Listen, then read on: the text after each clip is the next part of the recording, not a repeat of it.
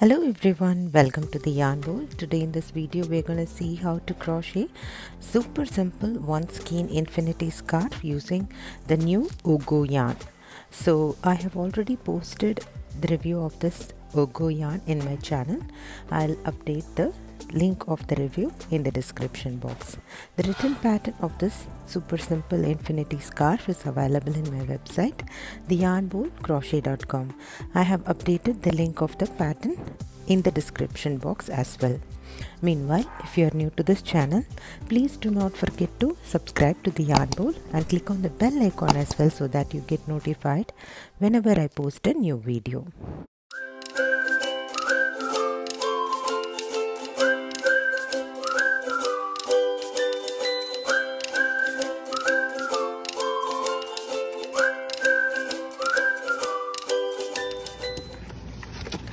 So this is uh, the yarn that I'll be using. This is the Ogo yarn.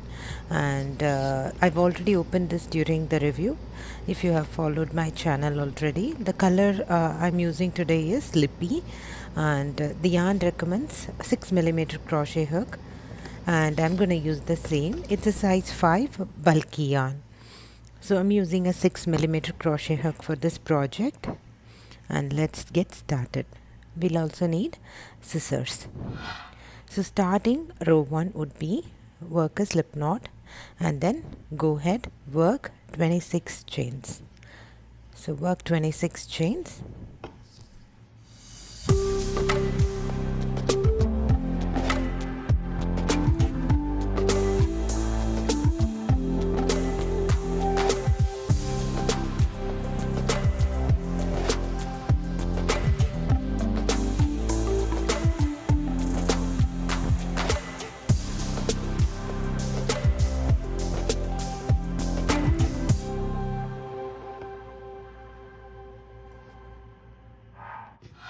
So once you have worked 26 chains, I'm going to work a one single crochet on second chain from the hook.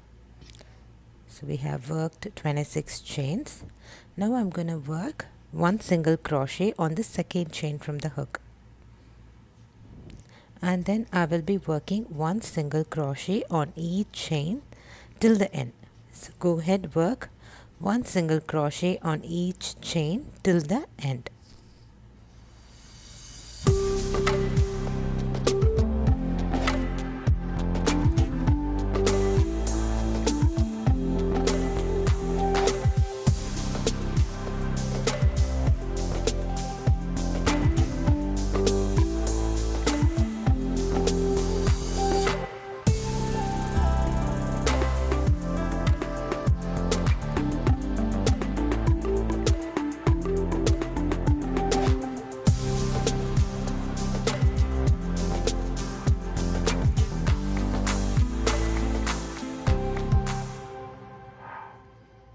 So now uh, we are going to end this row 1 I'm going to work one single crochet on my last chain.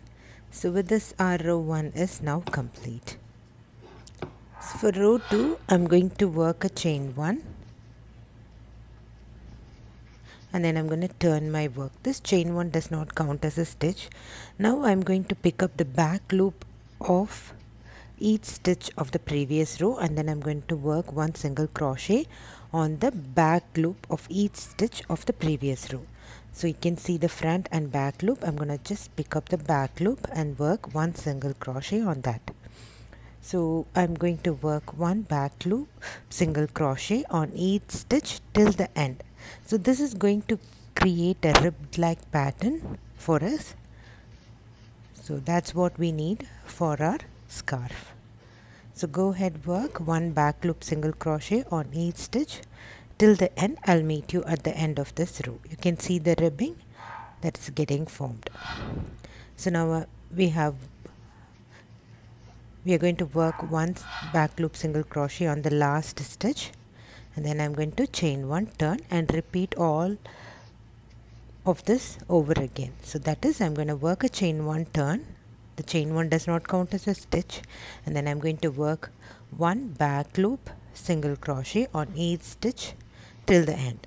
So this will be our row 3 so we are going to follow this row 2 pattern for the entire scarf. So we are going to chain one turn and then we are going to work one back loop single crochet on each stitch till the end. Then once again we work a chain one turn and then work one back loop single crochet on each stitch till the end. So go ahead work like work the same pattern that is row 2 until we reach row number 124 so you can see the ribbing that is getting formed. So you can see the ribbing that is getting formed here. So we're going to repeat this until we reach row number 124 so go ahead repeat this pattern until we reach row number 124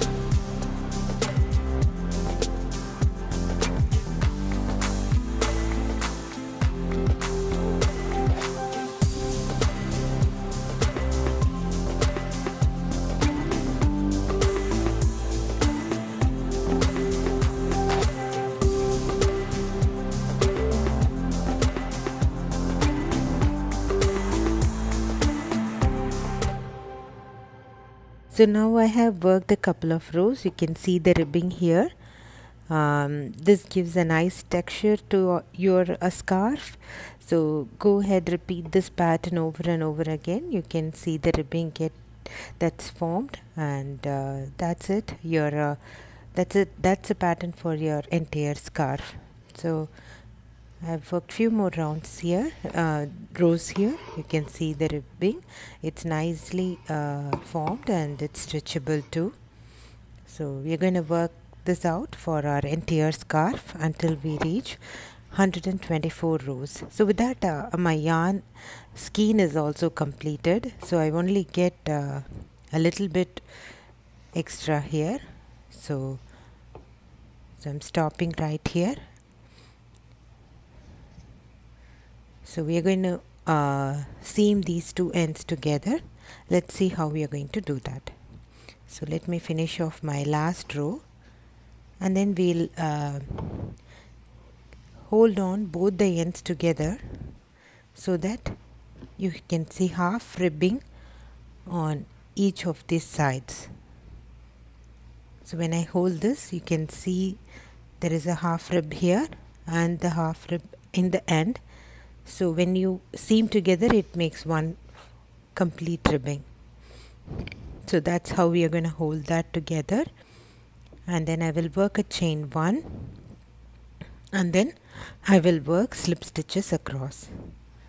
So working a chain 1 and then I will work a back loop of that stitch and the stitch of my starting row and then work a slip stitch then once again pick up the back loop of my last row and the stitch of my previous uh, row 1 and then work a slip stitch.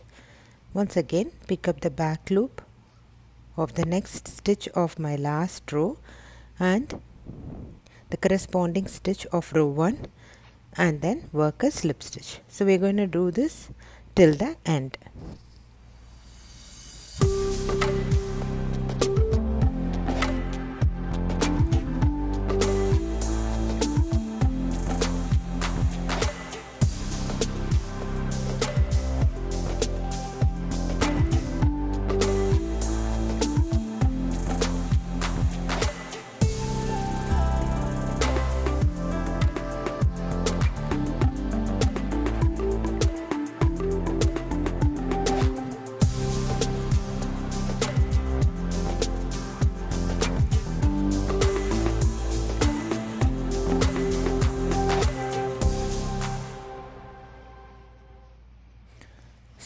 have worked slip stitches across and then I will work a slip stitch and then fasten off and then I'm gonna weave my ends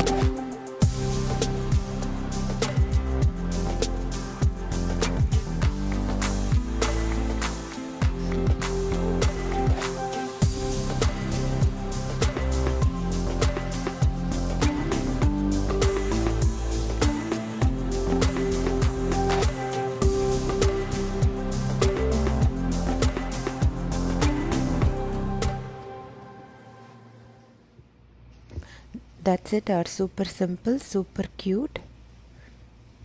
Infinity scarf is ready. I'm just turning it inside out so that our slip stitches goes inside.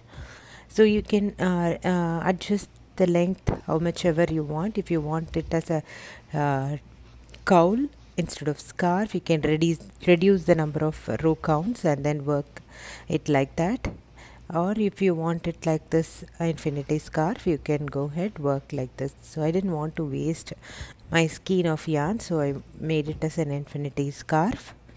So this is a nice thick bulky yarn. It's perfect for winter. Um, and uh, it's super simple and easy too. It's a very easy beginner friendly pattern that you can try with only one skein of this oh, Ogo yarn. The written pattern of this infinity scarf is available in my website theyarnbowlcrochet.com. I hope you enjoyed this video. Please do not forget to subscribe to the yarn bowl and click on the bell icon as well. Thanks for watching. Bye.